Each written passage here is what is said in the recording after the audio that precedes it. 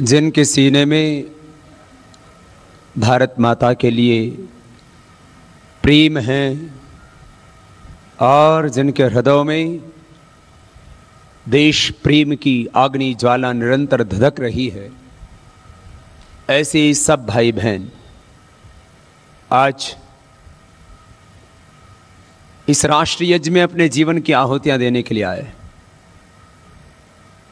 ज़्यादा संख्या युवकों की है। और युवा शब्द संस्कृत में यु मिश्रणा मिश्रणे धातु से बनता है। युवा का अर्थ ही है जो उथल पुथल मचा दे, जो परिणाम की चिंता नहीं करता, जो अपने जज्बातों पर भरोसा रखता है, खुद पर भरोसा रखता है, और जिसमें पूरे युग को परिवर्तन करने की क्षमता है, उसी को युवा कहते हैं। आज हमारे सामने जितने प्रश्न हैं, उन प्रश्नों का हमें खुद समाधान बनना है। हम कोसते रहते हैं, देश के प्रधानमंत्री ये नहीं करते। हम दोष देते रहते हैं, सरकारों को सरकारें ये नहीं करती। हम दुखी होते रहते हैं, हम परेशान होते रहते हैं, हम निराश, हताश होकर के बैठे होते हैं। कि देश सही दिशा में नहीं जा रहा है। चारों तरफ़ अन्याय हो रहा है, शोषण हो रहा है। चाहे प्रश्न आदिवासी वनवासियों का हो, उनको अपनी जमीनों से बेदखल करके, झारखंड, छत्तीसगढ़, उड़ीसा, इन मात्र तीन प्रांतों की ही बात करें तो आज़ादी के इन पैंसठ वर्षों में कई हज़ार गाँवों को पूरी तरह से उजाड़ दिया गया। अब आप सोचिए कि आपके पास में खेती करने की जो दो, चार, पाँच एकड़ ज़मीन हो, आपके रहने की कोई झोपड़ी हो, और उससे आपको बेदखल करके पूरी तरह से सड़क पर ला करके छोड़ दिया जाए। न खेती करने के लिए आपके पास कोई ज़मीन है, न रहने के लिए कोई मकान है। पढ़ाई का तो प्रश्न ही नहीं, न कोई स्कूल, न कॉलेज, यूनिवर्सिटी तो दूर दूर की बात। न कोई नौकरी है, न कोई धंधा है। आप क्या करेंगे? यही हालात आज़ादी के इन पैंसठ वर्षों में हिंदुस्तान के आदिवासी वनवासियों के साथ हुए। उनको खल करके एक दो नहीं रिकॉर्डेड है ये चीज़ कि आज हज़ारों ऐसे गाँव हैं जहाँ से आदिवासी वनवासियों को बेदखल करके एकदम सड़क पर लाकर के, चौराहे पर लाकर के खड़ा कर दिया। न उनके लिए स्कूल है, न उनके लिए कॉलेज है, न उनके लिए यूनिवर्सिटी है, न उनके लिए चिकित्सालय है, न उनके लिए हॉस्पिटल है। नौकरी धंधा मैंने कहा उनके लिए दूर की बात है। खाने के लिए कोई व्यवस्था नहीं। जीने के लिए कोई व्यवस्था नहीं। कोई ज़मीन ऐसी नहीं जहाँ मेहनत करके अपना पेट भर सके और कोई जगह ऐसी नहीं जहाँ पर रह करके अपना सिर ढक सके। ऐसा एक दो के नहीं, ऐसा हज़ारों गाँव के लाखों वनवासियों के साथ किया गया और बाद में जब वो नक्सलवादी, आतंकवादी बन जाते हैं, कोई माओवादी बन जाते हैं, फिर कहते हैं कि ये देश के लिए खतरा है। देश के लिए खतरा वो वनवासी और आदिवासी नहीं, देश के लिए खतरा वो लोग हैं जो सत्ताओं के सिंहासन पर बैठकर किस देश को लूट रहे हैं।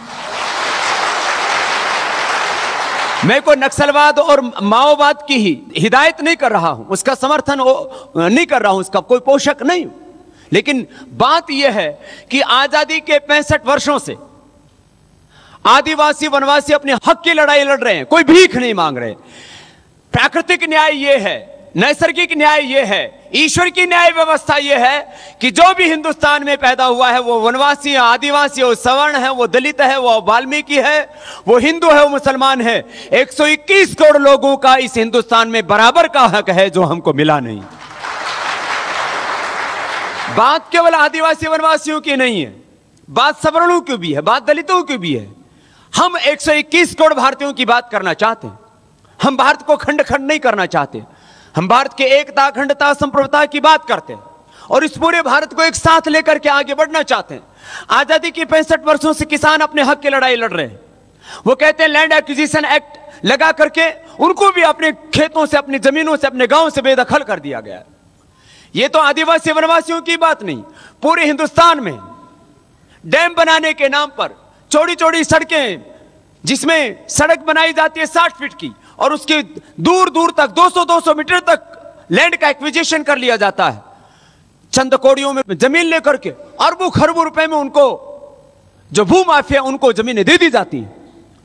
किसान पैंसठ वर्षों से खाली एक कानून बदलने के लिए आंदोलन कर रहे हैं कि लैंड एक्विजिशन एक्ट खत्म करो।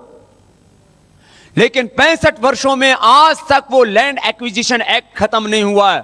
और हमारा ये संकल्प है, हम किसानों के लिए ये लैंड एक्विजिशन एक्ट तो खत्म करवाएँगे ही।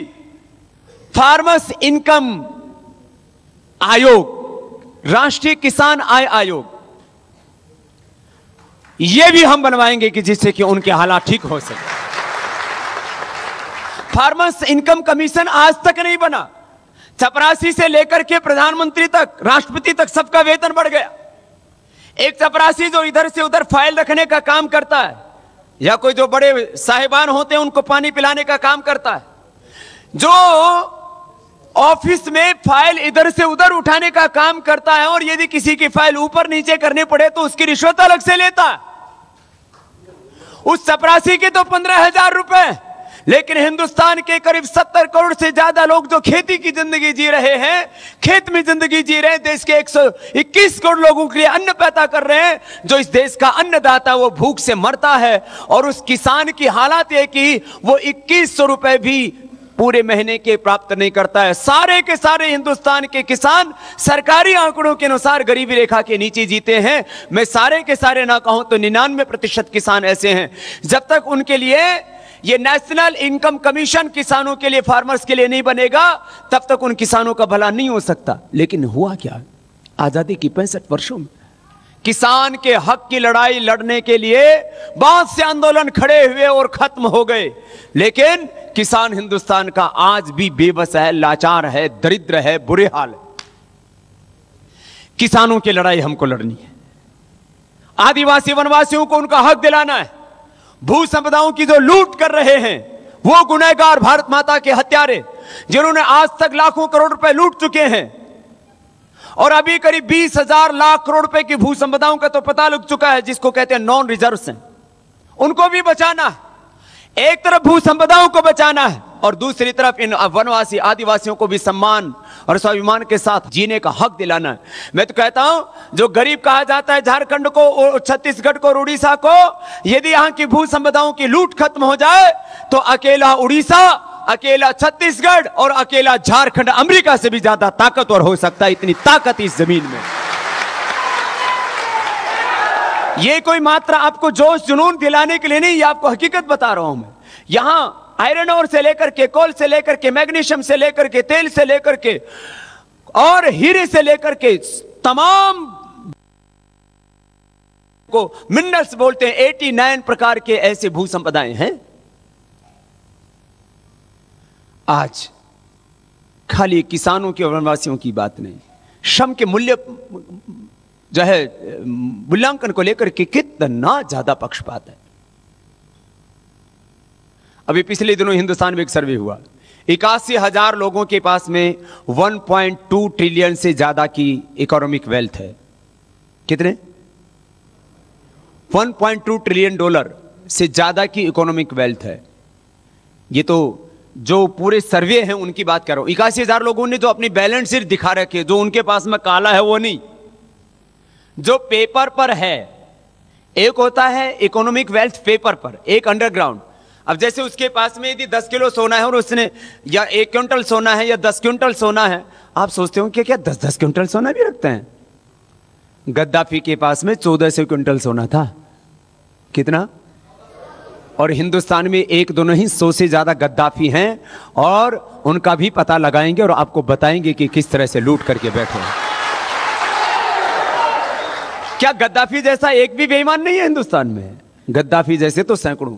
उस देश की तो इकोनॉमिक वेल्थ आप कितनी सोच सकते हैं? चार से पाँच लाख करोड़ रुपए की उस देश की जीडीपी कितनी? चार से पाँच लाख करोड़ की जीडीपी हो तो ऐसे भूखा नंगा देश है। और उस देश का जब एक राजा चौदह सौ क्विंटल तो सोना और करीब दस लाख करोड़ रुपए की इकोनॉमिक वेल्थ उसकी थी। हिंदुस्तान में तो एक दो नहीं, सैकड़ों गद्दाफी हैं और उन्होंने इस देश को लूट लूट करके बुरे हाल किया हुआ है। भाई बहनों, मैं आपसे बात कर रहा था।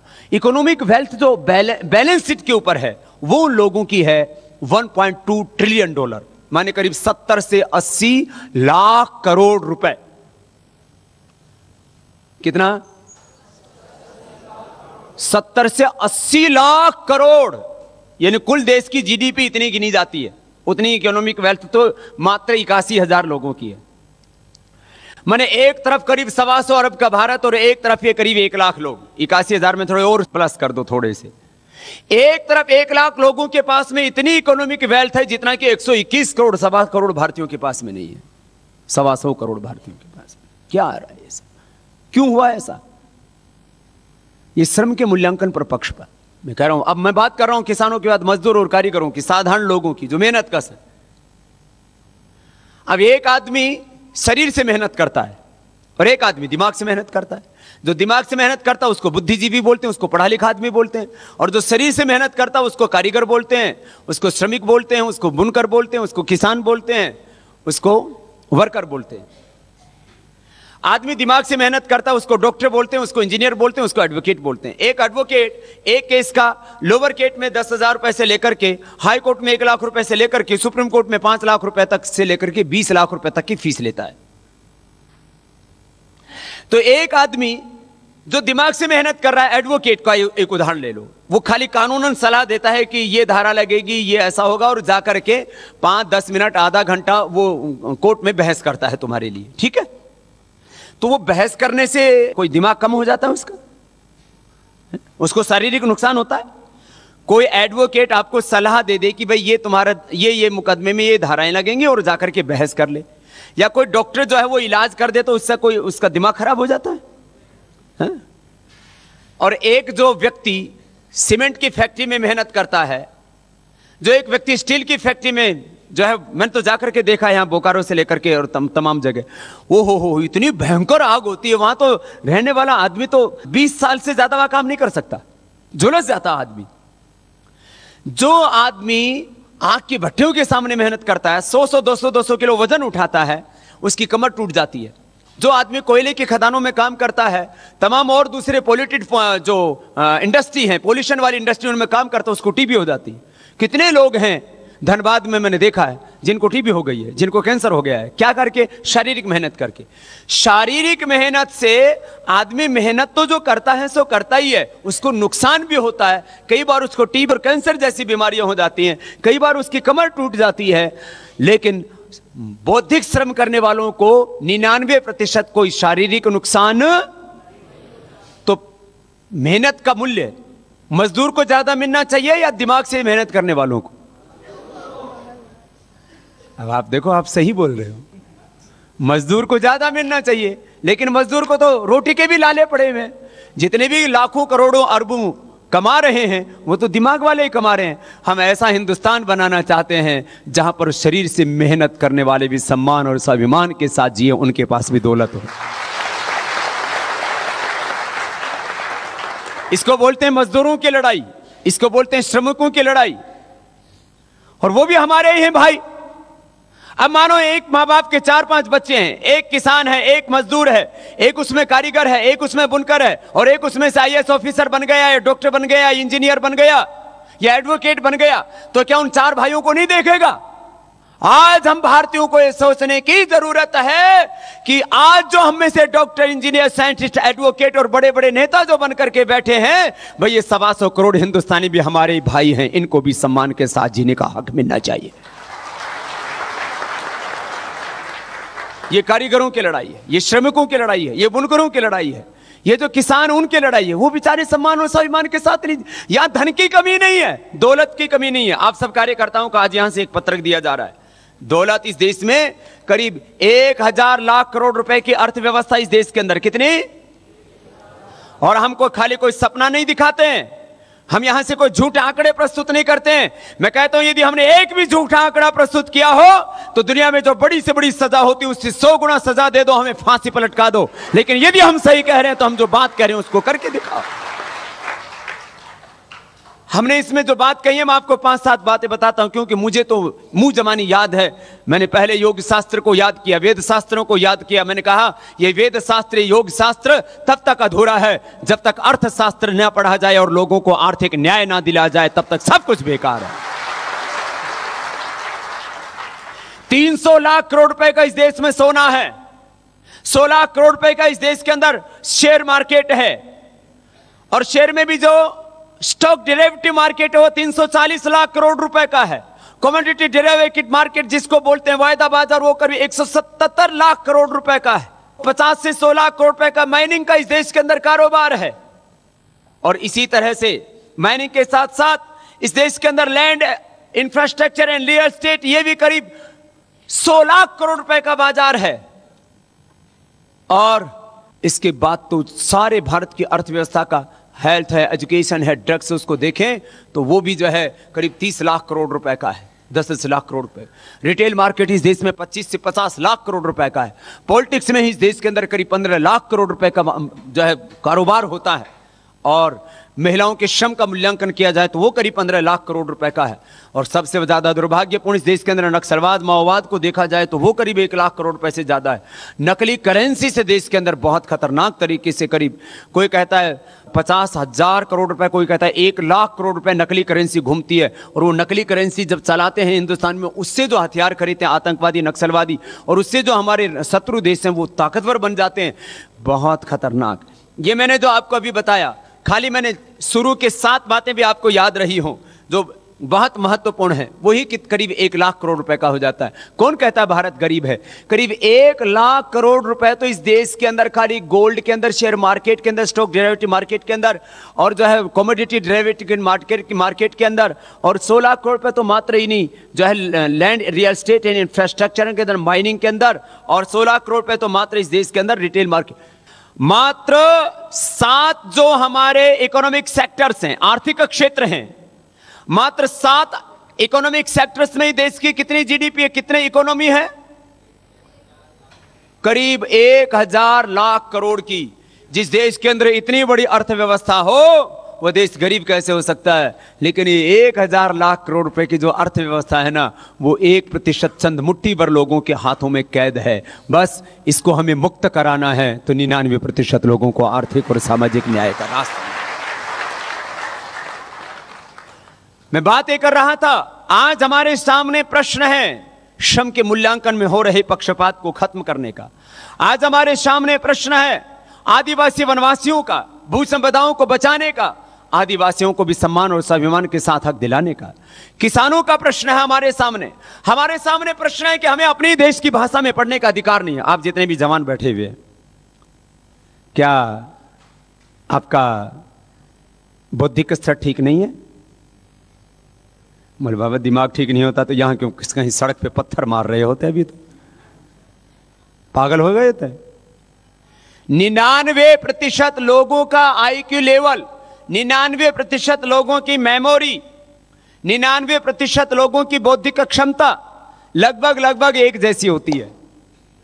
यदि आपको ठीक अवसर मिले अच्छा इंजीनियरिंग कॉलेज मिल जाए अच्छा मेडिकल कॉलेज मिल जाए अच्छा आपको यूनिवर्सिटी में पढ़ाई करने का मौका मिल जाए, आईआईटी के अंदर पढ़ाई करने का मौका मिल जाए, आप में जितने भी बच्चे बैठे हुए हैं, वो आईआईटी को में टॉप कर सकते हैं। वो बहुत अच्छे इंजीनियर बन सकते हैं। आप में जितने भी बच्चे बैठे हुए हैं लगभग निन्यानवे प्रतिशत अच्छे डॉक्टर बन सकते हैं। आप में जितने भी बच्चे बैठे हुए निन्यानवे प्रतिशत अच्छे इंजीनियर बन सकते हैं। आप में जितने भी बच्चे बैठे हुए निन्यानवे प्रतिशत अच्छे लेक्चर प्रोफेसर बन सकते हैं। आप में जितने भी यहाँ पर बच्चे बैठे हुए हैं, निन्यानवे प्रतिशत इसमें बहुत अच्छे पॉलिटिशियन बन सकते हैं। आप में से जितने भी बच्चे बैठे हुए निन्यानवे प्रतिशत में से सीए बन सकते हैं। आईएएस आईपीएस ऑफिसर बनकर के इस हिंदुस्तान को चलाने की क्षमता आप सबके भीतर बराबर है। आप किसी से कम नहीं है। फिर आप आईएएस क्यों नहीं बन पाते? फिर आप आईपीएस क्यों नहीं बन पाते? फिर आप डॉक्टर इंजीनियर क्यों नहीं बन पाते फिर आप बड़े होदों पर क्यों नहीं पहुँच पाते हैं? आप देश की नीति निर्धारण में क्यों नहीं भागीदार हो पाते हैं? वो इसलिए नहीं हो पाते हैं क्योंकि आपको आपकी भाषा में पढ़ने का हक अब गाँव के बच्चे को तो इंग्लिश ही नहीं आगे बढ़ने देती। यदि हिंदी भाषा में और दूसरी भारतीय भाषा में गुजराती है, मराठी है, तमिल है, तेलुगु है, कन्नड़ है, मलयालम है, बांग्ला है, असमिया है, जितनी भी भारतीय भाषाएँ हैं, उन्हीं भारतीय भाषाओं में आपको पढ़ने का अधिकार मिले तो बोलो आप लोग भी डॉक्टर, इंजीनियर, साइंटिस्ट और बड़े बड़े होदों पर पहुँच सकते हो कि नहीं? लेकिन क्यों? क्योंकि आपको ये निन्यानवे प्रतिशत बच्चों को तो अंग्रेज़ी आगे नहीं बढ़ने देती। घर में बोलते हैं, खेत में बोलते हैं, गाँव में बोलते हैं हिंदी, या अपनी और स्थानीय भाषा। और स्कूल, कॉलेज में क्या पढ़ना पड़ता है? अंग्रेज़ी। तो अंग्रेज़ी देख करके निन्यानवे प्रतिशत गाँव के बच्चों को रोक दिया जाता है बड़े होदों पर पहुँचने से। हमारा संकल्प है कि हिंदुस्तान में पहले तो समानांतर अंग्रेज़ी के साथ साथ भारतीय भाषाओं में भी सारी उच्च शिक्षा, तकनीकी शिक्षा, जितने भी हायर एजुकेशन है और जितने भी टेक्निकल एजुकेशन है, वो सारी की सारी से मेडिकल का एजुकेशन है, वो सब का सब भारतीय भाषाओं में समानांतर रूप से उसमें पढ़ने का अधिकार होना चाहिए। आज हम अपनी भाषा की लड़ाई लड़ रहे अरे, अंग्रेज़ चले गए पैंसठ साल पहले। ये अंग्रेज़ी आज तो क्या कर रही है इस हिंदुस्तान में? बहुत ज़रूरी होने पर दूसरे देश की भाषाएँ पढ़नी चाहिए, मैं मानता हूँ। लेकिन देश के अंदर देश की भाषा को ही सर्वोच्च सम्मान मिलना चाहिए और उसे में सारी व्यवस्था चलनी चाहिए।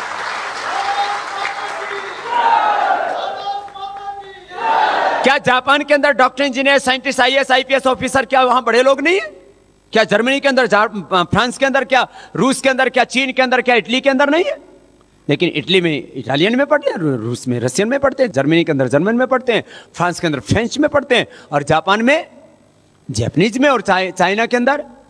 आपने देखा कभी जापान का प्रधानमंत्री कभी अंग्रेज़ी में भाषण देता है? एक भी व्यक्ति वहाँ का अंग्रेज़ी में बात नहीं करता। वहाँ जाओ आप किसी से भी। एक भी साइन बोर्ड आपको वहाँ पर अंग्रेज़ी में नहीं मिलेगा। हिंदुस्तान के कहीं पर भी हाईवे से लेकर के और संसद भवन विधानसभाओं तक पहुँच जाइए। ज़्यादा से ज़्यादा यह होगा कि आपकी भाषा नीचे लिख दी जाएगी, ऊपर लिखी जाएगी अंग्रेज़ी।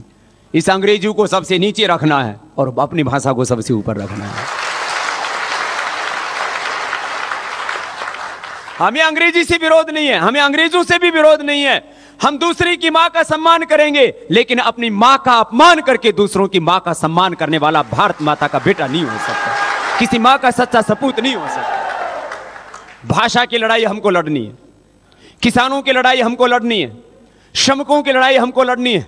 आदिवासियों की लड़ाई हमको लड़नी है। लेकिन लड़ाई कैसे लड़ेंगे?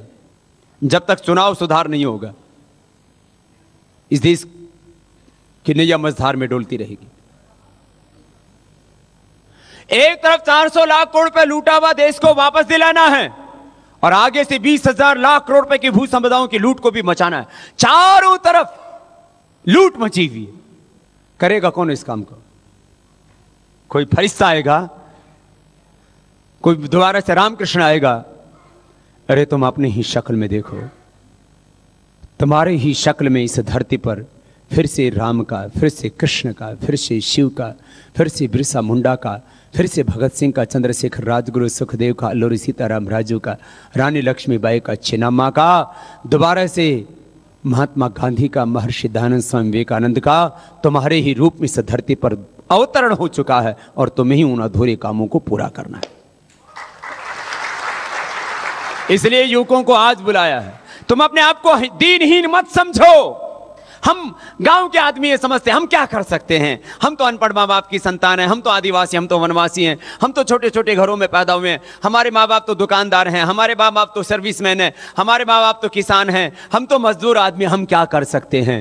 मैं तुम्हें यही भरोसा दिलाने के लिए आया हूँ, मैं भी अनपढ़ माँ बाप के घर में पैदा हुआ हूँ, और आज तक मेरे माँ बाप ज़िंदा हैं। उनको हस्ताक्षर करने नहीं आते। और मुझे इसका कोई अफसोस नहीं है कि मेरे माँ बाप अनपढ़ क्यों हैं, बल्कि मुझे इस बात का गर्व है, चाहे मेरे माँ बाप अनपढ़ थे, उन्होंने मुझे संस्कार दिया, आज मैं यहाँ पर पहुँचा हूँ, और मैं चाहता हूँ, जो अन्याय जो अन्याय मैंने सहा है, जो शोषण मैंने अपनी आँखों से देखा है, जो अपमान और बेबसी को मैंने जिया है, आने वाले मेरे हिंदुस्तान के बच्चों को, युवाओं को, ये बुरी दिन ना देखने पड़े, इसके लिए मैं हर पल जीता हूँ और कुछ करना चाहता हूँ। मैं सब जवानों से एक बात ये कहना चाहता हूँ, तुम ये सोच करके घर में मौन बैठ जाते हो, अपने घरों के अंदर दरवाजे बंद करके बैठ जाते हो, हम कुछ नहीं कर सकते। अब इस मिथक को तोड़ो। अब इस निराशा को अपने भीतर से हटा दो। तुम क्या नहीं कर सकते? मैं अपना उदाहरण दूँगा तो शायद आत्म प्रशंसा जैसे लगेगा। लेकिन अब्दुल कलाम साहब को देख लो। और तमाम आज वाजपेयी जी, यद्यपि उनका स्वास्थ्य बहुत अच्छा नहीं है ग्वालियर की एक सकरी सी गली के अंदर पैदा हुए थे। वो भारत के ऐसे प्रधानमंत्री बने जिनसे बहुत ज़्यादा लोग प्यार करते थे। अब लाल बहादुर शास्त्री जो बहुत छोटे से कद के थे, साधारण से घर में पैदा हुए, कोई सोच भी नहीं सकता था कि कभी ये देश का प्रधानमंत्री बने। कर्मसद में जहाँ लोह पुरुष सरदार वल्लभ भाई पटेल का जन्म हुआ, उस घर में भी मैं गया वो भी एक छोटे से, साधारण से घर में पैदा हुए। जैसा उनका घर था, ऐसे तो हमारे सबके घर छोटे छोटे हैं ही। लगभग सब। जब मैं एक अनपढ़ माँ बाप के घर में पैदा होकर के आपके सामने बैठा हूँ, और देश ही नहीं, दुनिया के करीब 200 देशों के लोग मुझसे प्यार करते हैं तो मैंने एक हौसला रखा, और आज देश की सबसे बड़ी सरकार, जिसके पास में मनी पावर है, जिसके पास में मिलिट्री पावर है, जिसके पास में इतना बड़ा तंत्र है कि मुझे एक कदम भी आगे बढ़ने से वो रोकते हैं। हर दिन सोचते हैं कि इस बाबा को कैसे खत्म किया जाए। मैं हर पल ये सोचता हूँ कि मैं चाहे एक दिन ज़िंदा रहूँ, चाहे सौ साल ज़िंदा रहूँ, लेकिन जो मुझे करना है मैं करूँगा।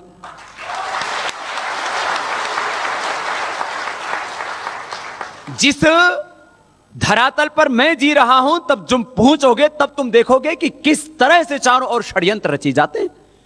ये साम्राज्यवादी ये ताकतें जो पूरी दुनिया के जल जंगल, ज़मीन, भू संपदाओं और अर्थव्यवस्था पर अपना आधिपत्य स्थापित कर चुकी हैं। उनके पास में मनी पावर है, उनके पास में मिलिट्री पावर है, उनके पास में मसल पावर है, उनके पास में गुंडे भी हैं, उनके पास में सारे हथकंडे भी हैं, उनके पास में कानून है। मुझे वो एक कदम भी आगे बढ़ने से रोकते हैं, लेकिन मैंने कहा, तुम लाख मुझे रोको, लेकिन जो मुझे करना है, आज करूँगा और जब तक जीऊँगा, तब तक करूँगा, अपने रास्ते से पीछे नहीं हटूँगा। मैं इसलिए आप जवानों से इस बात को कह रहा हूँ, मैं किसी बहुत बड़े घराने में नहीं पैदा हुआ हूँ, मैं किसी राजवंश में पैदा नहीं हुआ हूँ, मैं अंधेरों में पैदा हुआ हूँ। मैंने कभी नहीं खाए थे सेव। सेव तो मैं जब तक करीब शायद 20-25 साल की उम्र का हो गया था, तब तक तो सेव के दर्शन भी नहीं किए थे। हम ये सोचते थे कि सेव तो बहुत अमीर लोग खाते हैं। बादाम की एक गिरी अपने मुँह में नहीं डाली थी। क्योंकि बादाम गरीबों को कहाँ नसीब नसीब होता है? गाँव वालों को कहाँ नसीब होता है? जिस गाँव में मैं पैदा हुआ, आज तक भी वहाँ पर रेल नहीं जाती है। जिस गाँव में मैं पैदा हुआ, आज तक वहाँ पर कोई सरकारी बस नहीं जाती है। वहाँ पर कोई साधन नहीं है ट्रांसपोर्टेशन का। जिस, मैं जिस गाँव में पैदा हुआ उसकी तो बात छोड़ो। जिस माँ ने मुझे जन्म दिया, आज तक वो रेल में भी नहीं बैठी है। मेरे से एक दिन बोली, बेटा, मुझे रेल में तो बैठा दे, वो छुक छुक करके चलती है उसमें मैं वहाँ से आया हूँ, उन अंधेरों के बीच से। मैं आपको इसलिए कह रहा हूँ, आप झारखंड के गाँव से आए हुए युवक हैं, साधारण परिवारों के युवक हैं, क्योंकि बड़े परिवारों के लोग कभी कोई बहुत बड़ी क्रांति नहीं कर सकते। क्योंकि वो कहते हम तो ठीक हैं, इसलिए क्रांति कोई मसीहा आकर के नहीं करेगा क्रांति कोई राजघरानों में पैदा हुए युवक नहीं करेंगे। क्रांति पैदा करेंगे तो गाँव और झोपड़ियों में पैदा हुए युवक ही देश के अंदर करेंगे। और इस क्रांति की ज़रूरत भी उन्हीं के लिए है और तुम्हारी ज़रूरत के लिए कोई दूसरा अपना खून पसीना नहीं बहाएगा। तुम्हें अपनी ज़रूरत के लिए, तुम्हें अपने अपने हक के लिए अपनी लड़ाई लड़नी पड़ेगी। इसी का नाम है भारत स्वाभिमान, इसी का नाम है युवा भारत, जिससे आपको जोड़ा गया। तुमको ऐसा लगता है हम क्या कर सकते हैं? अरे तुम क्या नहीं कर सकते? और मैं ये व्याख्यान देने के लिए नहीं आया हूँ, कोई भाषण करने के लिए नहीं आया हूँ। मैं उसको जीता हूँ और मैं सोचता हूँ, जब मैं आगे बढ़ा, हौसला रख करके इस देश का युवा मुझे साठ करोड़ युवा हिंदुस्तान के दिखाई देते हैं। मुझे नहीं लगता कि साठ के साठ करोड़ जग जाएँगे। मुझे साठ करोड़ जगे हुए युवाओं की ज़रूरत भी नहीं है। मुझे साठ लाख भी नहीं चाहिए। मैं तो कहता हूँ, साठ करोड़ के युवा भारत में से यदि साठ हज़ार युवक भी जग गए तो देश की तकदीर और तस्वीर बदल करके रख देंगे।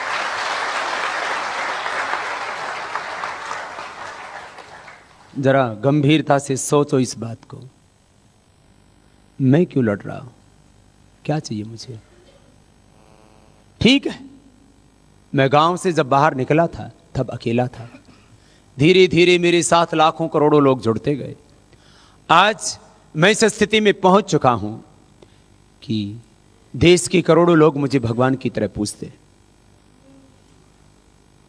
मैं चाहूँ तो दुनिया का सारा ऐश्वर्य भोग सकता हूँ। मुझे चाहिए ही नहीं। मेरा कोई शौक नहीं। न पहनने का शौक है। ज़मीन पर सोता हूँ, कहीं पर भी रहूँ चाहे। कुछ लोगों को तो ये लगता है, बाबा मतलब उसको ये दूध भी नहीं पीना चाहिए। बोले, बाबा आप दूध क्यों पीते हो? तो मैंने कहा, क्यों? बोल, पानी पर क्यों नहीं रहते हो? फिर दूसरा एक और शातिर आ गया। बोल, बाबा आप पानी भी क्यों पीते हो? हवा पे क्यों नहीं रहते हो आप? मैंने कहा, भाई, मैं ज़मीन पर सोता हूँ। बोले, ज़मीन पर क्यों सोते हो? मैंने कहा, धरती के भीतर गाड़ोगे क्या? भाई, ज़मीन पर भी नहीं सोने दोगे। कुछ लोगों को इतना भी मैं कर रहा हूँ, ये इसमें भी संतुष्टि नहीं है। मैंने कहा, भाई, मैं ज़मीन पर सोता हूँ, इतना सा खाता हूँ, बोलो, इतना सा क्यों खाते हो? अब उनकी तो मैं संतुष्टि नहीं कर सकता। मुझे हवाई जहाज़ में घूमने का शौक नहीं है। लेकिन उसको बाबा, हवाई जहाज़ से क्यों आते हो? मैंने कहा, पैदल चलूँगा तो हिंदुस्तान कैसे जाऊँगा? बोले, नहीं, हमारी तरह पैदल चला करो। पैदल चल लिया, फिर तो ये बदमाश पूरा पूरा हिंदुस्तान लूट लेंगे। फिर तो बाबा पैदल ही चलता रहेगा। एक प्रांत में भी नहीं जा पाएगा। मैं हवाई जहाज़ में कोई चल, आना जाना भी चलता हूँ, हवाई जहाज़ में भी चलता हूँ, पैदल भी चलता हूँ। अब मेरे लिए कोई हवाई जहाज़ मेरा शौक नहीं है। मुझे बल्कि हवाई जहाज़ में बैठ करके खतरा और मोल लेता हूँ। कम से कम रेल रोल में बैठूँगा तो एक्सीडेंट भी होगा तो टूटा फूटा बच तो जाऊँगा। उसमें से तो गिरने के बाद कुछ बचने के चांस नहीं है। तो ये हेलीकॉप्टर में बैठना, हवाई जहाज़ में बैठना, ये हमारे लिए शौक नहीं है। हम मजबूरी में बैठते हैं कि मुझे मुझे हवाई जहाज़ में चलना पड़े, मुझे जो है हेलीकॉप्टर में चलना पड़े, मुझे पैदल चलना पड़े, मुझे भूखा रहना पड़े, मुझे प्यासा रहना पड़े, लेकिन मैं 121 करोड़ अपने भारत के लोगों के चेहरे पर खुशी देखना चाहता हूँ, उनको न्याय दिलाना चाहता हूँ, उनके हक के लड़े लड़ना चाहता हूँ।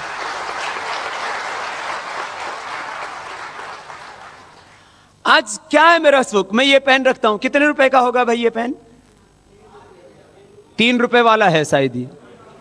ज़िंदगी का ये शौक मत बनाना कि तुम तुम्हारे पास में कौन सी घड़ी है, तुम्हारे पास में कौन सी गाड़ी है, तुम्हारे पास में कौन सा पेन है, तुम्हारे तुमने कपड़े क्या पहने हुए हैं।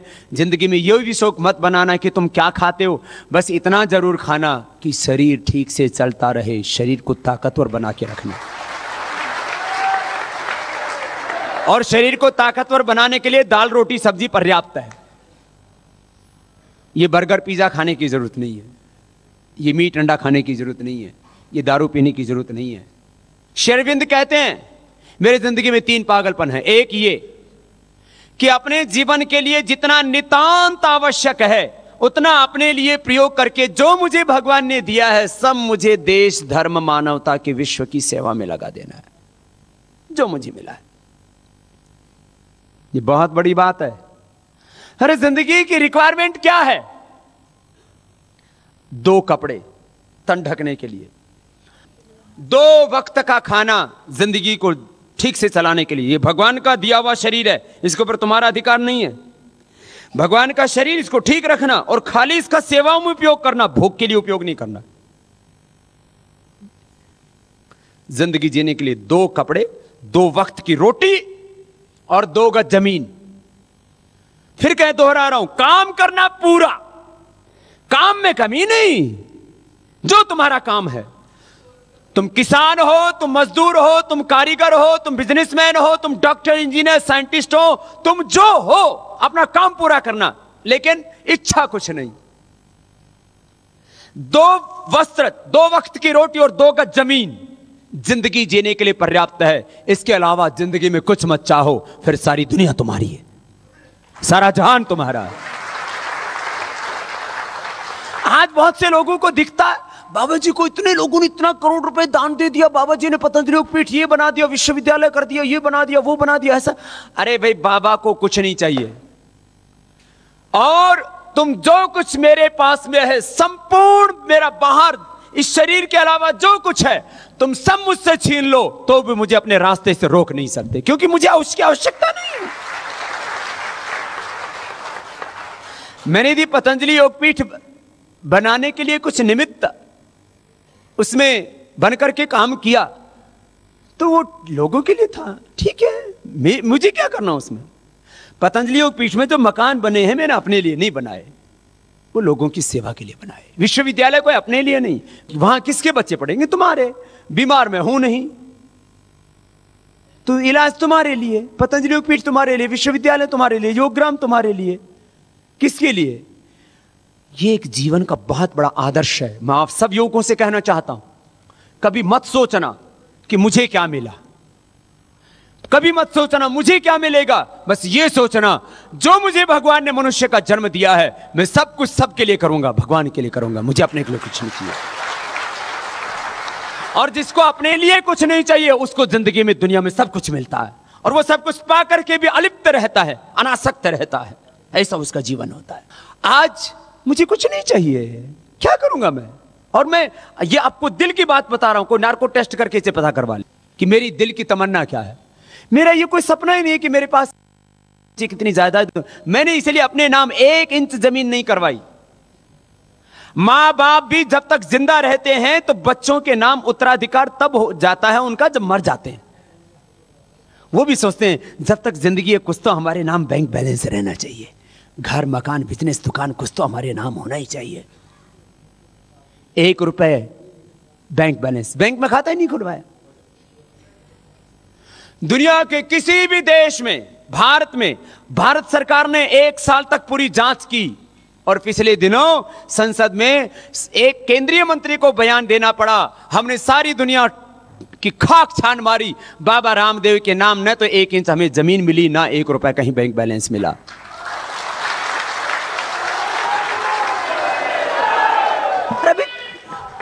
जब जब कुछ चाहिए नहीं तो क्या करना? लेकिन याद रखो, मैं सब जवानों से इस बात को कहना चाहता हूँ। अपनी जो ज़िंदगी को दांव पर लगा करके, जो सबके लिए सब कुछ करते हैं, फिर वो सबके लिए सबके हो जाते हैं। आज एक दो नहीं, ऐसे हज़ारों लोग हैं जो लिख चुके हैं कि हमारा वारिस, हमारा उत्तराधिकारी बाबा रामदेव होगा, पतंजलि युगपीठ होगी, क्योंकि ये जो काम कर रहे हैं, वो भगवान का काम है। हमारे बच्चों के हाथों में हमारी संपत्ति नहीं है मैं इसलिए इस बात को कह रहा हूँ, मैं आपको कोई प्रलोभन देने के लिए नहीं कह रहा हूँ कि आपको हज़ारों लोग आपको अपना वारिस बना देंगे, आपको उत्तराधिकार में क्या क्या संपत्ति मिल जाएगी, कितना धन मिल जाएगा, कितना यश मिल जाएगा, मैं इसके लिए आपको कोई प्रलोभन नहीं दे रहा हूँ। मैं आपको इतनी सी बात बता रहा हूँ। अरविंद का एक पागलपन। मुझे अपने लिए नितांत जो आवश्यक है उसको छोड़ करके जो कुछ मुझे मिल रहा है या मिलेगा। आप जब काम करेंगे तो मिलेगा। यह ऐसा हो नहीं सकता कि आपको कुछ ना मिले। आप यदि साधु सन्यासी बन जाएँगे तो आप लोग, आपको लोग दान में देंगे। आप यदि सत्ता और सिंहासन पर जाएँगे तो लाखों करोड़ रुपए की संपत्ति तुम्हारे हाथों में होगी।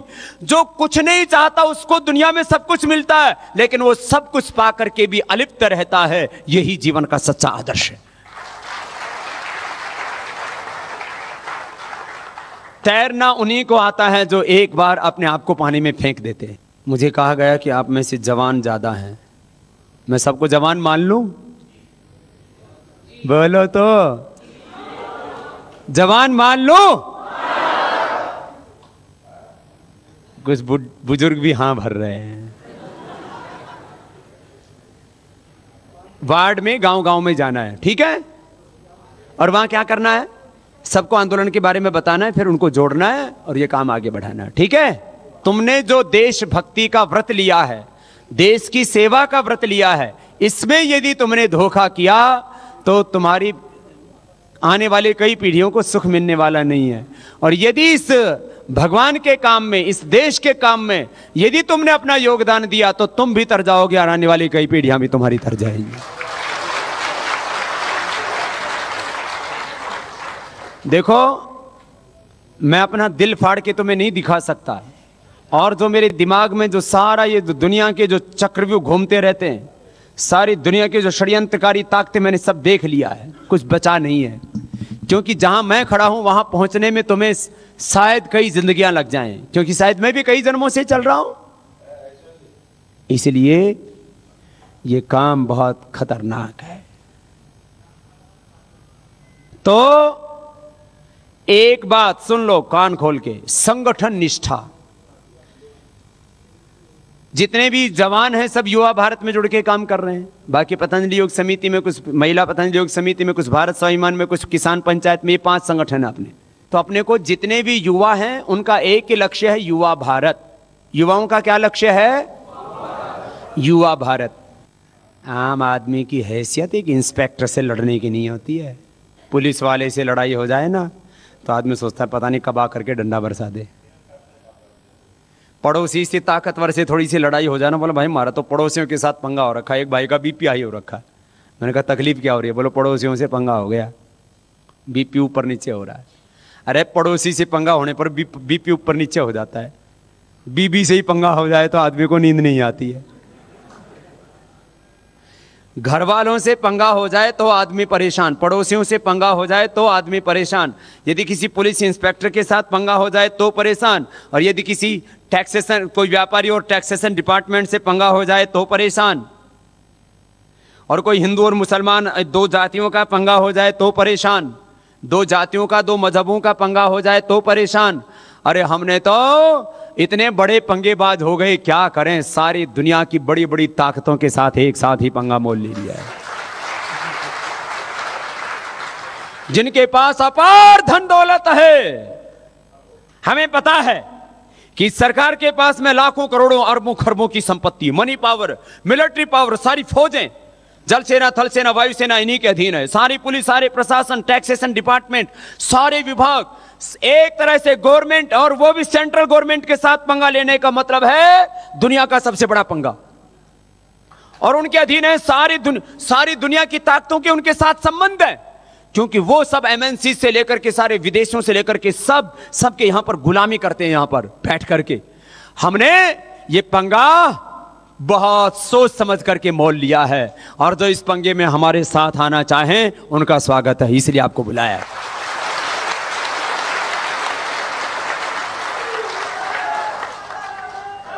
तुम किस जाति को हो, मुझे कोई नहीं देखना। मैंने आज तक अपने साथ में रहने वालों की भी जाति नहीं पूछी। स्वामी मुक्तानंद जी मेरे साथ करीब पच्चीस, तीस सालों से। जो आश्रम में रहते हैं, हमारे ट्रस्टी हैं, हमारे मित्र हैं, गुरुकुल की सखा हैं। आज तक मैंने नहीं पूछा। तुम्हारी जाति क्या? आज अपने संगठन में निन्यानवे प्रतिशत जो कार्यकर्ता उनकी जाति मैंने कभी पूछी ही नहीं। मुझे इससे लेना ही नहीं कुछ भी, कि उसकी जाति क्या है। मुझे आपकी जाति से कोई लेना देना नहीं है। आप, मैं तो सब जातियों का सम्मान करता हूँ। मैं जाति का अपमान नहीं करता हूँ। मुझे आप किस मज़हब के मुझे इससे भी कोई लेना देना नहीं किस प्रांत के इससे भी कोई लेना देना नहीं लेकिन आपको और हम सबको मिलकर के ये 121 करोड़ लोगों की हक की और न्याय की लड़ाई लड़नी और इस धरती पर भगवान का साम्राज्य स्थापित करना है और इन सारी शैतानी ताकतों को दुनिया से निस्तानभूत कर देना है ऐसा काम करना है मिलकर जब तुम मेरे सामने बैठे होते हो तो लगता है बाबा से उछल पुछल मचा देंगे सारी दुनिया में प्रलय मचा देंगे। और तुम्हारे भीतर प्रलयकारी क्षमता है। तोड़कर धरा को फोड़, आसमां की काली माँ, जगा दे सुप्रभात को, फैला दे अपनी राली माँ। तेरी शुभ्र कीर्ति विश्व संकट तुमको तारती, उठो जवान देश की वसुंधरा पुकारती। है शत्रुधन दाना रहा, चहु दिशा में देश की पता बता रही, हमें किरण किरण दिनेश की, और चक्रवर्ती विश्व जयी मातृभु निहारती रगों में तेरे बह रहा है खून, राम श्याम का, जगत गुरु गोविंद और राजपूत ईशान का। तू चल पड़ा तो चल पड़ेगी साथ तेरे भारती। तू ही राम है, तू ही कृष्ण है, तू ही हनुमान है, तू ही शिव है। तेरे ही भीतर वो लाखों करोड़ों ऋषियों की आत्मा का अंश है। तू ऋषियों की संतान है, तू भगवान की संतान है। उसको खुदा को, अल्लाह को, अकाल पुरुष, ओलमाइटी, गॉड को कोई फ़र्क नहीं पड़ता है। जब तू ऐसा सोचता है तो तेरे भीतर एक जोश, एक जुनून, एक आग पैदा होती है। अग्नि अस्मि जन्मना जात वेदा, घृतम में चक्षुमृतमा सन्माग हूँ। मैं जन्म से ही अग्नि पैदा हुआ हूँ। मेरी आँखों में सपना एक स्वर्णिम भारत का, एक स्वर्णिम विश्व का, युग निर्माण का, राष्ट्र निर्माण का। और कस्तिधात रसोई विमान मैं इस धरती की बात नहीं, मैं द्युलोक, अंतरिक्ष लोक और पृथ्वी लोक अपने पैरों से मापने वाला हूँ। मैं स्वयं एक यज्ञ कंड हूँ। अहम इंद्रो न पराजिज्ञ है। लाख करोड़ मुसीबतें आए। मेरे कदम आगे बढ़ते जाएँगे। चाहे कितने ही संकट आए, कितने ही मुसीबतें आए, कितनी ही प्रतिकूलताएँ आए, कितने ही मुझे अपमानित तो होना पड़े, चाहे कितने ही विष के घोट मुझे पीने पड़े, मैं चलता रहूँगा, अपनी राह पर आगे बढ़ूँगा और एक दिन अपने लक्ष्य में ज़रूर मैं कामयाब होऊँगा, चाहे कितना ही वक्त लगे मुझे। अग्नि ही अस्मि जन्मना जात वेदा। अहम इंद्रो ने पराजिज्ञ मैं कभी पराजित तो होने वाला, कभी भी मौन रहने वाला, कभी भी हिम्मत हारने वाला नहीं हूँ। चरई वेती चरई वेती ही मेरे जीवन का आदर्श है। कृतम में दक्षिण हस्ते जयो में सब व्याय। जब तुम मेरे सामने बैठते हो ना तो तुम्हें लगता है हम बदल देंगे सारे जहान को। लेकिन पता नहीं कहाँ से कौन से संस्कार आ जाते हैं घरों में जाकर के। बाबा कह तो रहे थे, ठीक लेकिन बदलेगा नहीं जमाना। फिर सो जाता है। कैसे बदलेगा जमाना? इतने ताकतवर हो गए हैं ये लोग। इनके हाथों में तो सब कुछ है। मैं तो एक गरीब का बेटा हूँ, मैं तो एक किसान का बेटा हूँ, मैं तो कारीगर मजदूर का बेटा हूँ, मैं तो एक छोटी सी व्यापारी का बेटा हूँ। मैंने इस काम में पंगा मोल लिया तो मेरे बाप को उजाड़ देंगे। मैं तो इस काम में पंगा मोल लिया तो मेरे गरीब माँ बाप को मार देंगे ये लोग। मैंने ऐसा किया, तेरे तो माँ बाप को उजाड़ देंगे, तेरे तो घर परिवार को उजाड़ देंगे। अरे तेरे पास उजाड़ने के लिए है क्या? इस देश के निन्यानवे प्रतिशत लोगों के पास में उजड़ने के लिए, उजाड़ने के लिए कुछ नहीं है। लगोगे तो सब कुछ बच जाएगा और नहीं लगोगे तो जो कुछ हो वो भी खत्म हो जाओगे। तुम्हारे पास में उजाड़ने के लिए है क्या? दो एकड़ ज़मीन लेकर के बैठे हो, एक छोटी सी दुकान लेकर के बैठे हो? निन्यानवे प्रतिशत लोगों के पास में है क्या? पाँच दस लाख रुपए का बैंक बैलेंस है? अरे, मेरे पास में मानो कुछ भी नहीं था और आज देश के दुनिया के लोगों ने मुझे सब कुछ दिया। आज पहले मेरे पास में कुछ भी नहीं था और आज दुनिया की दृष्टि से कहते हैं, बाबा रामदेव बड़ा ताकतवर हो गया पता नहीं इसको देश के दुनिया के लोगों ने इतना क्यों सहयोग करके इतना ताकत दे दी है। आज अपना सब कुछ दांव पर लगा करके लगाऊँ और आपसे भी कहता हूँ, आओ सब मिलकर के लड़ो। यदि सब मिलकर के लड़ोगे तो सब कुछ बच जाएगा और यदि आज नहीं खड़े हुए तो सब कुछ उजड़ जाएगा। लेकिन हौसले कमज़ोर मत पड़ने दो। प्रार्थना तो पद्धति क्षुद्र हृदय दौर्बल्यम तकता तिष्ठ परंतप तो मैं आप युवाओं से पहले एक बात को कहता हूँ। मुझे लगता है आज तो बुज़ुर्गों में भी जोश आ गया होगा। अरे उम्र कोई ये, ये तो शरीर की उम्र होती है। आत्मा तो हज़ार अमर नित्य है तो तुम सदा युवा हो। तो सोचते क्यों हो बुढ़े हो? और माना तो इन जवानों के तो सामने अभी इनके पचास साठ साल की उम्र इनको तो बहुत कुछ देखना है। देखो, बुजुर्गो, सुन लो दस बीस बीच में बैठे हुए हैं मेरे पिता तुल्य हैं। यदि तुमने नहीं किया ना कुछ, थोड़े दिन बाद में वैसे भी जाकर के शमशान में राख ही बननी है। यदि दस बीस साल बचे हैं और वो इस देश के काम आ गए तो आपका, आपके कुलवंश का दुनिया में नाम अमर हो जाएगा। नहीं तो यूँ ही आया था और यूँ ही गीदड़ों की, जानवरों की मौत मर जाएँगे। क्या बचेगा अपना? इसलिए जिनके 10-20 साल शेष हैं जीवन के, वो लगा दो जीवन की आहुति इस राष्ट्र यज्ञ में, इस भगवत कार्य में। और भाई जिनका पूरा जीवन शेष है, वो पूरा जीवन दांव पर लगाओ तो आपका भविष्य अच्छा होगा, ये देश अच्छा होगा।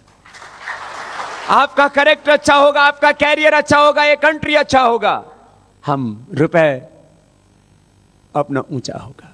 आज अपने रुपए की कीमत क्या है? डॉलर पाउंड के बराबर।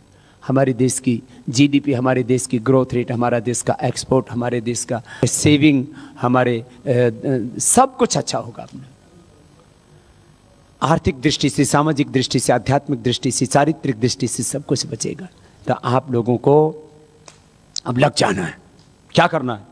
जाकर के गाँव गाँव में बताना लोगों को। सबको बताना। अपने गली मोहल्ले में जाना। आप में से कितने ऐसे युवक हैं जो तहसीलों से और गाँवों से हैं? तहसील वाले और गाँव वाले हाथ उठाओ तो। अरे तहसील वाले गाँव वाले बहुत हैं। मैंने भी हाथ उठा रखे मैं भी गाँव वाला ही हूँ। हाथ नीचे कर लो। और ये शहर वाले भी ज़्यादा राज़ी मत हो ना तुम्हारे भी सब पूर्वज गाँव से आए थे कोई आसमान से नहीं आए थे। जितने भी शहर में बैठे हैं सबके बड़े बुज़ुर्ग 10, 20, 50, 100, 150, 200 साल पहले कहाँ से आए थे? तो हमारे हिंदुस्तान के निन्यानवे प्रतिशत भारतवासी क्या हैं सब? ग्रामवासी। आपने यदि गाँव की भलाई के लिए काम नहीं किया ना तो स्वर्ग में बैठी बैठी आत्माएँ तुमको साप देंगी। और यदि तुमने गाँव की भलाई के लिए काम किया तो स्वर्ग में बैठी वो आत्माएँ भी आपको आशीर्वाद देंगी। भगवान भी आशीर्वाद देगा इस देश का भाग्य उदय हो जाएगा। ये जो तहसील और गाँव से जो बच्चे आए उनको तो काम करना ही है। गाँव वालों को भी, शहरों में भी जाना और तो अब भाई जो अर्बन एरिया वाले एक एक वार्ड में जाओ। और जो रूरल एरिया के गाँव वाले एक एक गाँव में जाओ। और उन सबको जाकर के पाँच काम करना। सुन ये पाँच मिनट की बात बहुत ज़रूरी है। सबको जाकर के बताना, हिंदुस्तान क्या है और हिंदुस्तान की ताकत क्या और कैसे लुट गया है मेरा पूरा हिंदुस्तान। तो सब आप जब उनको सब बातें बताएँगे, चार पेज याद कर लेना, फिर ऐसे ही बोलोगे जैसे मैं बोल रहा हूँ। पहले अपनी बजा करके बात बताना, फिर आंदोलन समिति बनाना। तीसरा, फिर आंदोलन समिति बन गई। फिर जो ग्राम सभा है तो उसके सिग्नेचर भी ले लिए कि भाई तुम इस आंदोलन में समर्थन करो। तीसरा काम, बोले भाई अब इस काम में एक सन्यासी ने अपना सब कुछ दांव पर लगा करके देश के को बचाने के लिए काला धन लाने के लिए, भ्रष्टाचार मिटाने के लिए आएगा तो अपने को सबको न्याय मिलेगा, सबको हक मिलेगा, कोई गरीब नहीं रहेगा। अपना हिंदुस्तान फिर से सोने की चिड़िया बन जाएगा। पूरी दुनिया का नेतृत्व तो दोबारा से भारत को ही करना है, आध्यात्मिक दृष्टि से भी, आर्थिक दृष्टि से भी। और दोबारा से पूरे षड्यंत्रकारी ताकतों को खत्म करना है। अब वर्ल्ड बैंक यही बनेगा आईएमएफ यही बनेगा यूएनओ यही बनेगा डब्ल्यूटीओ यही बनाएगा, और भारत से ही पूरी दुनिया चलेगी, ऐसा भारत हम सबको मिलकर के बनाना है।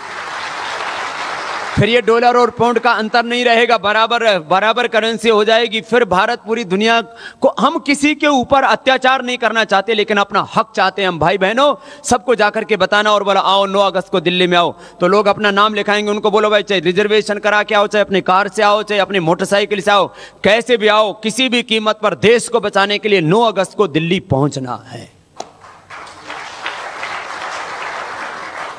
आपको भी पहुँचना है। एक, दो दो, तीन दिन की, पाँच दिन की स्कूल में जो पढ़ रहे विद्यार्थी हैं, वो छुट्टी ले लेना। अरे भाई, पढ़ाई करोगे तो कौन से पाँच दिन में आई एस ऑफिसर बन जाओगे? और मजदूरी भी कर लोगे तो क्या पाँच सौ, हज़ार रुपए कमा लोगे? व्यापार धंधा कर लोगे, दो, चार, पाँच, दस, हज़ार रुपए कमा लोगे? अरे यदि घर में ऐसे ही पड़े रहे तो कुछ नहीं पाओगे? और यदि 9 अगस्त को दिल्ली आओगे तो 400 लाख करोड़ रुपए वापस आने का रास्ता खुलेगा। भ्रष्टाचार मुक्त भारत अपने हाथों से बनाने का मौका मिलेगा। और करीब बीस हज़ार लाख करोड़ रुपए की भू संपदाएँ जो लुट रही हैं, उनको बचाने का रास्ता खुलेगा। भाई बहनों बहुत कुछ काम होना है। तो उनको बताओ। फिर उसमें से जो योग करना जानता हूँ, उसको बोलो, भाई, तुम योग कराना अपने अपने गाँव में, अपने अपने वार्ड में। जब तक अच्छा इंसान नहीं बनेगा अच्छा हिंदुस्तान नहीं बन सकता। अच्छा इंसान योग से बनेगा, अध्यात्म से बनेगा। तो सबको क्या करना है? योग। जितने भी आप भी बैठे हो, सुन लो सुबह सुबह एक घंटा योग क्या करो। मज़बूत बुझाएँ होने सी ऐसे तुम्हारी टन टन ऐसे थुल थुल नहीं लचर पचर। ऐसे नहीं चलेगा। मज़बूत रहो। सीधे बैठो। सबको मज़बूत बनना एक घंटा सुबह दौड़ लगाया करो दल बैठक लगाया करो हाँ? और प्राणायाम भी क्या करो ध्यान भी क्या करो। एक घंटा सबको योग करना है सबको कराओ। तो उसमें बोले भाई जो जो योग कराने वाले तो योग गाँव गाँव में घर घर में होना चाहिए। हर एक गाँव में हर एक वार्ड में एक योग की कक्षा लगनी चाहिए। और जब मैं दोबारा झारखंड आऊँ तब मैं देखो कि झारखंड में कोई गाँव ऐसा नहीं बचा है जहाँ योग की कक्षा ना चलती हो। सब योगी हो।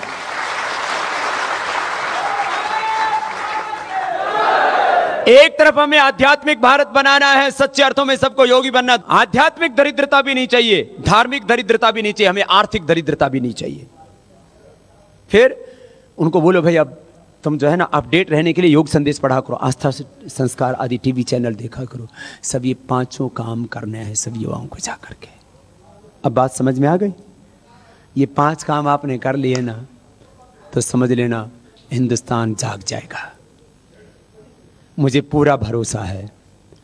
जो आग मेरे भीतर निरंतर जल रही है, वो आग एक दिन ज़रूर 121 करोड़ लोगों के सीने में जलेगी और ये सारा अंधेरा छटेगा, नया सवेरा आएगा।